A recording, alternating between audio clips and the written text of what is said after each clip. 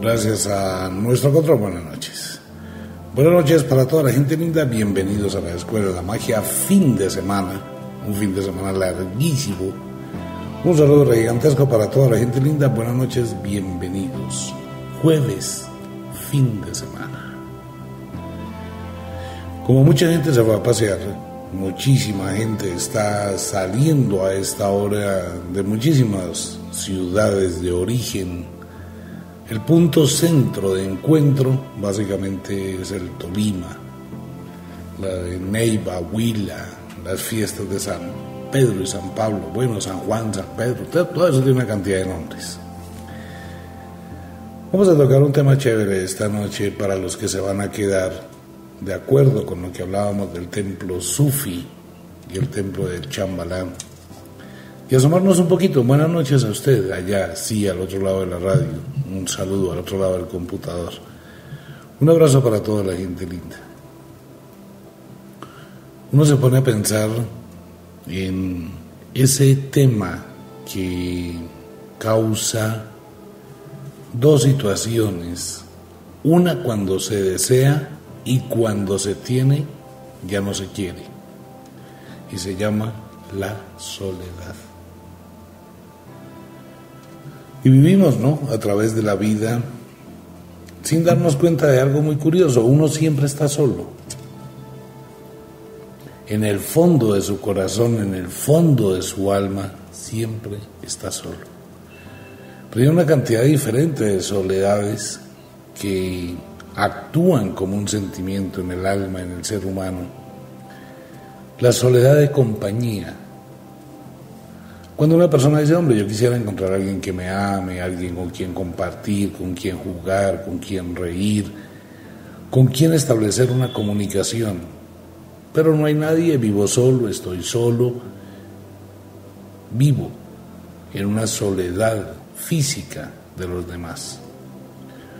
Otras personas se encuentran viviendo con mucha gente, viven en el hogar con sus hermanos, papá, esposo, esposa, pero viven solos, aislados, sumergidos en su mundo.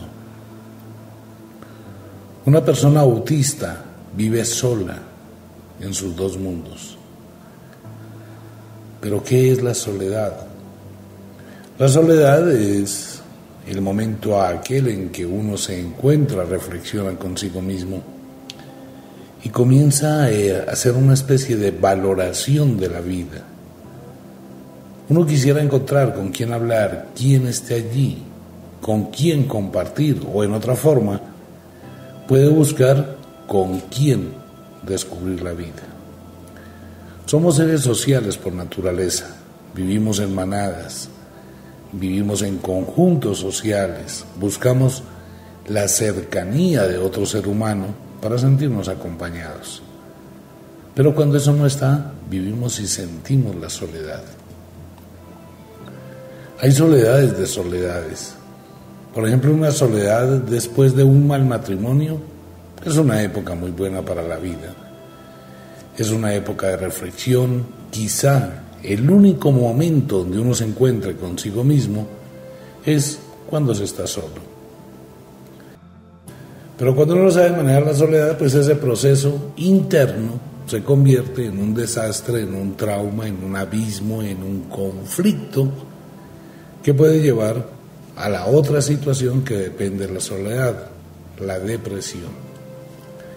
La depresión puede llevar a la locura, a la agonía, a la angustia. La soledad se presenta de mil formas diferentes. Una persona se muere X en un accidente, cuando nunca se pensaba que esa persona se iba a ir, sale por la mañana, sale hoy, se va para su paseo, y un accidente ocurre en una milésima o en una diez milésima de segundo. Eso más o menos dura un accidente. Y ¡pum! Se acabó la historia. Entonces la persona queda sola. ¿Y ahora qué? Vivimos de dependencias psicológicas que son, no son malas, pero dependemos psicológicamente de la gente con la que compartimos y cuando nos encontramos en esta situación, generamos lazos muy fuertes demasiado fuertes hacia la gente con la que convivimos y la gente que nos rodea. Estos lazos tienen dos formas de que se acaben. Una, cuando se acaban de forma muy abrupta, inesperada, eso genera un daño en el espíritu muy grande. Una persona que está conviviendo con otra N cantidad de años y de pronto esa persona se muere. Eso es instantáneo. O de pronto cuando alguien llega a la casa y encuentra una carta de la persona con la que convivía que le dice, me voy, adiós. Ese es otro tipo de soledad. Y una soledad mayor que causa más daño que las anteriores y la peor soledad que puede existir en el mundo es cuando tenemos soledad con incertidumbre. Cuando uno sabe que la persona se murió, lo acepta, maneja el duelo, el proceso que sigue la soledad. Cuando una persona se va, pues se acepta, se maneja el duelo, y empieza uno, como quiera que sea, al cabo de 23 días, empieza el proceso de restablecer la vida. Pero ¿qué pasa con la soledad, la incertidumbre? Donde usted no sabe si está muerto, si está vivo, si se fue y por qué se fue. Como el caso de un secuestro. Donde no tiene ni idea, no tiene información, donde no se encuentra la persona. Esa soledad de la incertidumbre es tal vez la peor de las soledades. Por una simple razón. La soledad construye una fijación mental de lo que está ausente y no de lo que está presente. Una mamá con cuatro hijos, cinco hijos, todos excelentes, se muere un hijo. Ella se siente desamparada por la muerte de su hijo, siente la soledad de su hijo sin darse cuenta que tiene más hijos. ¿Por qué? Porque tiene una fijación de la soledad. Igual pasa con una persona que termina una relación afectiva. Los amigos le dicen este fin de semana, hola gorda, vámonos a pasear, vámonos a Melgar, a Girardot, camino y vamos a volar con Omar allá a Flandes. No, yo no quiero ir, yo quiero estar acá. Pero venga, vamos a rumbear, no, gracias. Y tiene muy buenos amigos y muy buenas amigas, pero tiene una fijación mental. ¿Cuál? Su exnovio. Un hombre enamorado, encaprichado, que pierde su relación pareja, le pasa exactamente lo mismo. Entonces tenemos un grupo, un conjunto del juego de la mente referente a la compañía y referente con la soledad. Este fin de semana, como muchos fines de semana cuando se presenta puentes, muchas personas van a vivir los tres tipos de soledad. La soledad de una situación grave, cuando hay estos puentes y se combina la festividad, licor y automóvil, pues no faltan los accidentes. Ojalá y la policía de carreteras, gracias a ellos, pues tengan un super control pero no va a faltar el muchacho, el joven, el señor que ebrio va a sufrir un accidente y van a tener familias enlutadas. No va a faltar la persona que se queda sola, la mamá o el papá o la familia que se queda sola porque los demás se van a pasear y queda con una soledad temporal de duda, de incertidumbre esperando que regrese. Otros se van a quedar en la soledad, en la incertidumbre. ¿Cuántas parejas esta semana o este fin de semana? El novio o la novia pelea esta noche, pelea mañana, tiene la justificación suficiente para tener el celular apagado y se pierde todo el puente. Muchísima gente lo hace. Entonces estamos en la otra soledad. ¿Y qué hace uno sufriendo mientras la otra persona se divierte? ¿Cómo manejamos esa fijación mental? ¿Cómo evitamos sentir esa sensación de congoja, de angustia, esa necesidad real de la otra persona para estar bien? para sentirse uno pleno, para sentirse uno completo, para sentirse uno totalmente vivo. Puede que la otra persona no esté, pero una sola llamada muchas veces relaja la tensión. Ocurre que cuando la gente vive una soledad de espera, y empieza a convertirse en obsesión y posteriormente en depresión y posteriormente en desesperación y más tarde llega la locura. Es un proceso muy difícil de manejar. Se requiere de mucha voluntad y conocer el camino, conocer el otro rumbo. ¿Cuál es el otro rumbo? Romper la soledad. ¿Cómo se rompe la soledad? ¿Usted alguna vez ha tomado una piedra y la ha arrojado contra un vidrio, contra un cristal? Bueno, mm, más o menos es lo mismo. Es coger una piedra, lanzársela contra la soledad y salir de la soledad. Bueno, es relativo, ¿no? No es coger la piedra eh, tangible. ¿Cómo se rompe la soledad cuando usted se dice a sí mismo, venga, camine nos vamos a rumbear. Camine nos vamos a pasear. Le marqué dos veces. Uno nunca debe marcar más de dos veces en este tipo de condiciones. Ah, que fue que le pasó algo. No se preocupe, las malas noticias son las primeras que llegan. Pero si uno permite que la desesperación lo invada, usted va a empezar a marcar el teléfono mil horas, mil veces cada hora. Y posteriormente se da cuenta que en la medida en que no le contestan, más se desespera. Y en la medida que más se desespera, más pierde el control. Y en la medida que más pierde el control, más siente la ansiedad del deseo de que esa persona aparezca. ¿Qué se debe hacer? Mire, si usted está peleando con su pareja y su pareja se pierde este fin de semana, no llame. Haga un acopio de fuerza de voluntad y no llame. ¿Qué debe hacer? Salga. Salga con otras personas, vaya a un salón de belleza, cámbiese el look, váyase a otro lugar donde así no quiera distraerse, al menos participe sin aislarse. ¿Y cómo empieza a hacerlo? Haciéndolo, no es más. Es como la persona que está en una fiesta y está sentada llorando porque el novio no aparece o la novia no aparece y se queda pensativo con esa fijación en la mente, dedicarse el tiempo a pensar en esa persona para que fuera fiesta. Pero ¿qué ocurre cuando algo adentro le dice, ¿sabe qué? No más, deje la bobada. Y se para y comienza a bailar la primera pieza. Puede que se sienta mal, pero con un esfuerzo voluntario, usted empieza a cambiar la polaridad de su mente y se mete en el cuento. Todo esto nos lleva a cambiar la actitud frente con la soledad. Pero tenemos que tener un principio real, como lo decía Kadaicha.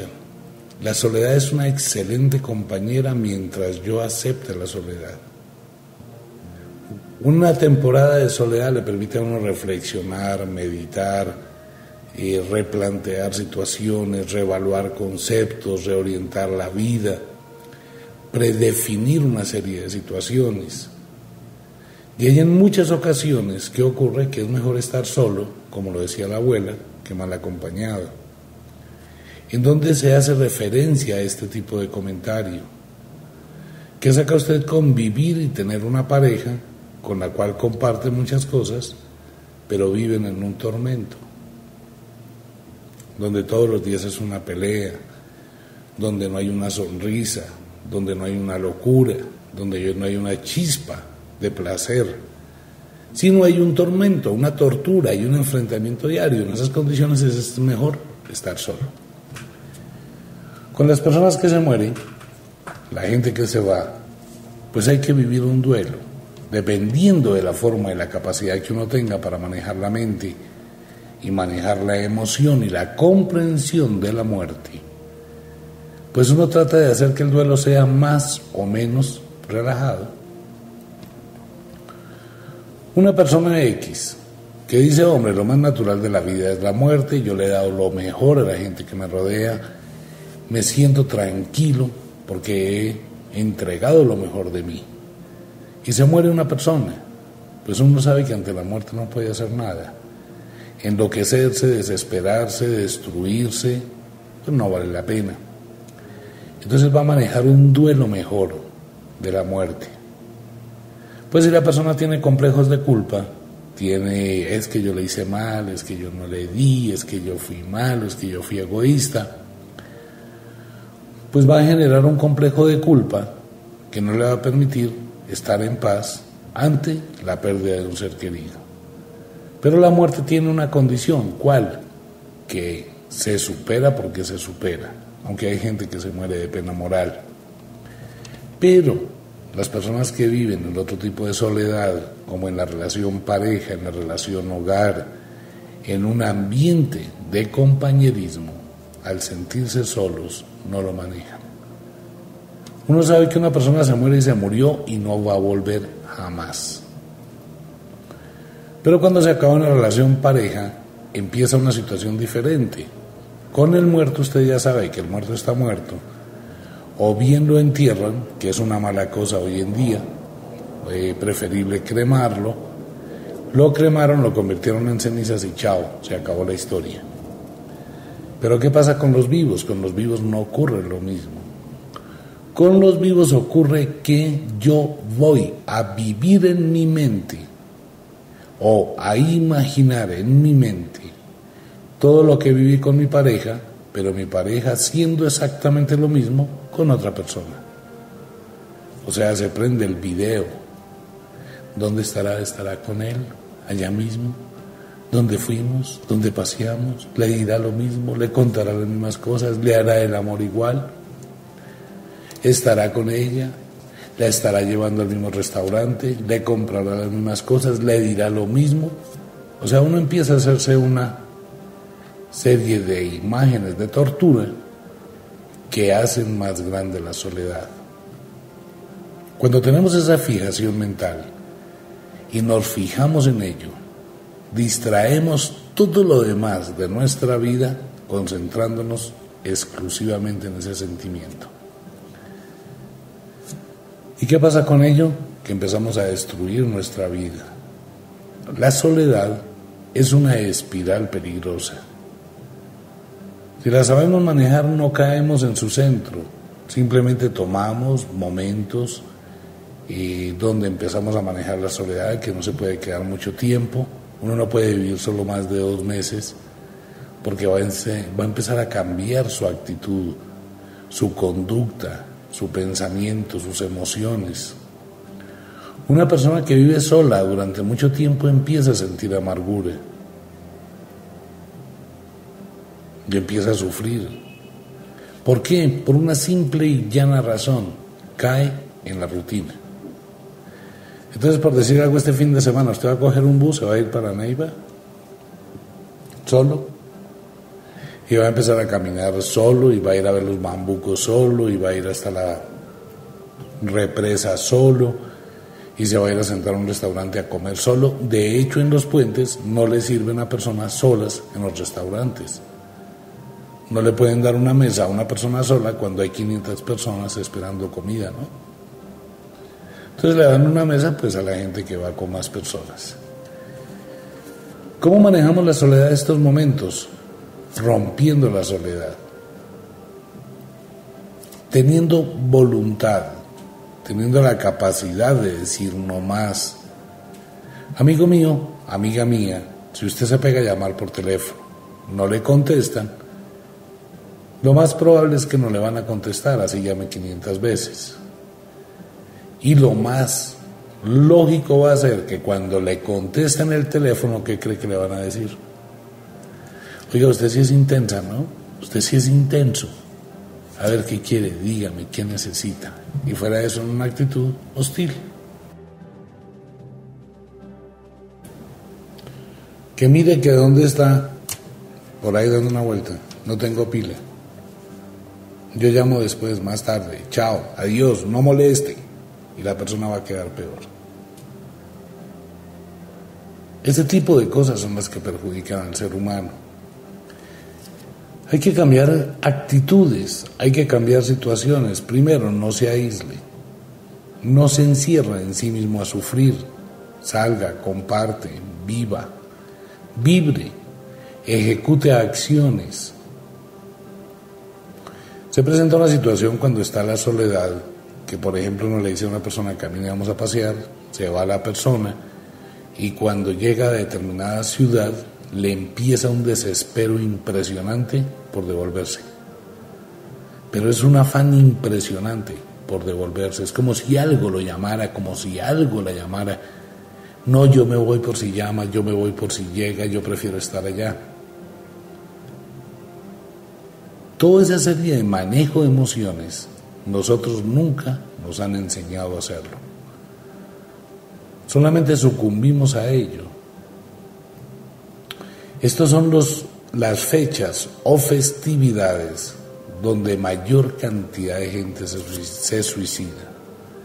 ¿Y por qué se suicida? Por desesperación.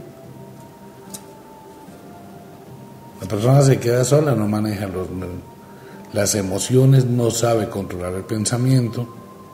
Y es cuando encontramos mucha gente que se va a tomar, que se va, que se llena de una energía impresionante.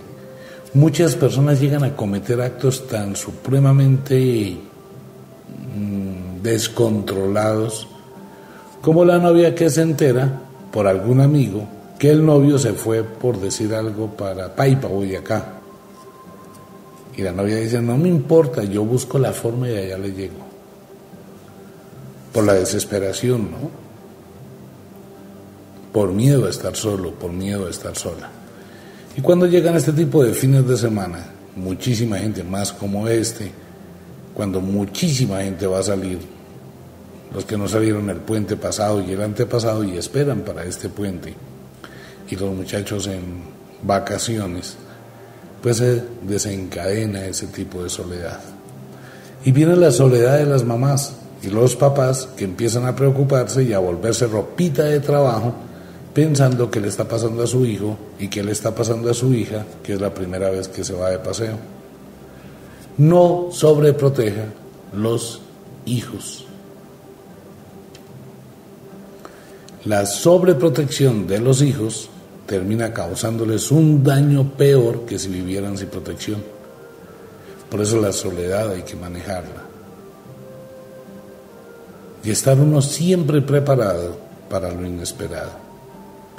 Si uno se queda solo, maneje la soledad como un sistema de meditación, como un estado de relajación, como un estado de autovaloración. Hombre, uno solo va a tener tiempo para acicalarse, para cuidarse, para quedarse todo el día acostado en, si quiere, para ir a comerse un, no sé, un ponqué, un bizcocho, lo que quiera. Estando solo puede decir, me voy a estar conmigo mismo, sin atormentarse. Porque estar solo, atormentándose, lo único que va a conseguir es la desesperación y la destrucción. Y mucha gente se vuelve nada durante estos días mientras llega el lunes por la noche o el martes por la mañana. ¿Dónde estabas? No, gorda, me fui por allá con unos amigos y donde estaba no había el señal del teléfono. Después no conseguí cómo llamarte. Ay, mamita, yo te amo, perdóname, no sé qué, si sé cuándo, no sé qué más, pitos y flautas. Y todo vuelve a la normalidad y los tres días de sufrimiento, pues simplemente no sirvieron para nada. De hecho, el sufrimiento nunca sirve para nada, solo para seguir sufriendo. Eso es un manejo de emociones, la soledad. Mucha gente se va, qué rico por la gente que se va a pasear, porque se va a divertir, que va a pasarla rico, el cuento del paseo, la varada, el pinchazo, el trancón, todo eso forma parte del paseo la quemada con el sol, la intoxicación y entonces el show y el oso porque les dio diarrea en el peor momento y casi se les daña el paseo. Una cantidad de cosas que forma parte del paseo. Esa es la gente que se va a divertirse. Como no tienen una fijación mental, para ellos el tiempo pasa muy rápido. Para ellos el puente es un abrir y cerrar de ojos. Ya tenemos que devolvernos. Ya se acabó la rumba. No, pero si estaba buena. Mientras el que se queda y los que se quedan en una quietud absoluta y en una soledad, Bogotá va a estar sola, completamente rico para ir a caminar, para ir a hacer compras, de pronto para dar una vuelta, para ir a comerse un asado, chévere. Pero si uno se queda solo en una, en una ciudad también casi sola, donde los teatros van a tener dos personas viendo cine, a duras penas, pues uno se va a sentir abogado, a pesar de tener todo el espacio. Es mejor desde hoy programar actividades, salir, ir, mirar. Hay muchas cosas por hacer. Esa es la soledad. Vámonos para el break, no se vaya a dormir, ya regresamos.